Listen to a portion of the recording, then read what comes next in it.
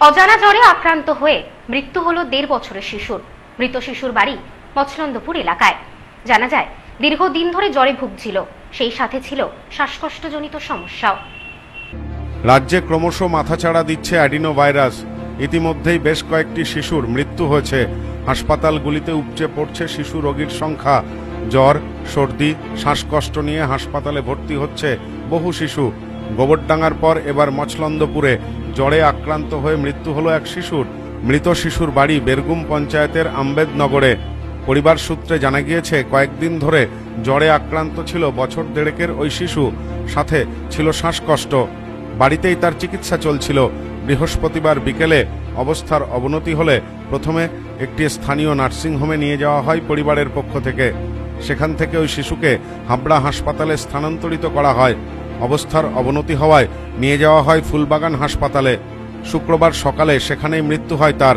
দিন ধরে একটু জ্বর হচ্ছিল তারপরে সর্দি কাশি তা কালকে নিয়ে যাওয়া হয়েছিল ছটার দিকে। নকপুল ইয়ে রেণুকা নার্সিংহোমে ওইখানটায় সব পরীক্ষা নিরীক্ষা করে টোরে তারপরে ওখানটা ডাক্তার বলল যে এরকম করে হাবড়া হাসপাতালে ট্রান্সফার করো। তারপরে হাবড়া, এই, নিয়ে যাওয়া হয়েছে। ওখান থেকে এক ঘণ্টা বাদে বলছে ফুলবাগানে ট্রান্সফার করে এসছে। সাড়ে দশটা নাগাদ খবর পেলাম যে আমাদের নাতি আর নেই।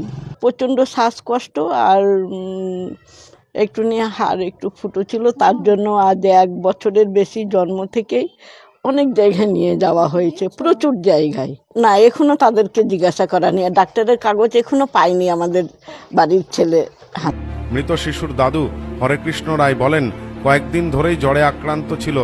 স্থানীয় এক চিকিৎসককে দেখানো হচ্ছিল অবস্থার অবনতি হলে তাকে হাবড়া হাসপাতালে নিয়ে যাওয়া হয়।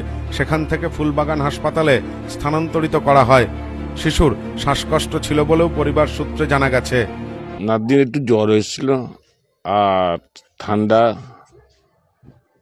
সর্দি আর কাশি হয়েছিল। তখন বাচ্চাটা গেল ডাক্তারখানায়। ভালো ছিল হঠাৎ করে আবার দেখি ঠান্ডা হয়েছে।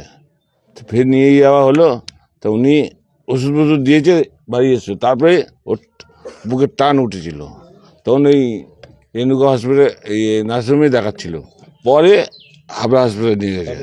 ওইখান দিয়ে ফুলবা নিয়ে কি কষ্ট হচ্ছিল এর মধ্যে? শ্বাসকষ্ট হচ্ছিল। জ্বর হয়েছিল কদিন? জ্বর তো বাড়িতে ছিল দুদিনে একদিনে হয়েছিল। তারপরে তো দেখাতে নিয়ে গেলাম আমরা। এটা কি বাচ্চাটা মামা বাড়ি। বাচ্চাটার মামার বাড়ি। ছোট্ট একরত্তি শিশুর মৃত্যুর ঘটনায় স্বাভাবিকভাবেই শোকের ছায়া গোটা এলাকা জুড়ে। Bureau report news no man's land Machhlandapur বাজেটের মধ্যে আপনার পছন্দের গহনা কিনতে আজই আসুন। আমাদের ঠিকানা নিউ পিসি জুয়েলার্স বনগা বাটার মোড়। নিউ পিসি জুয়েলার্স ব্রাঞ্চ বাটার মোড়, বনগা। এছাড়াও PC Jewellers beauty Bongaon Motiganj.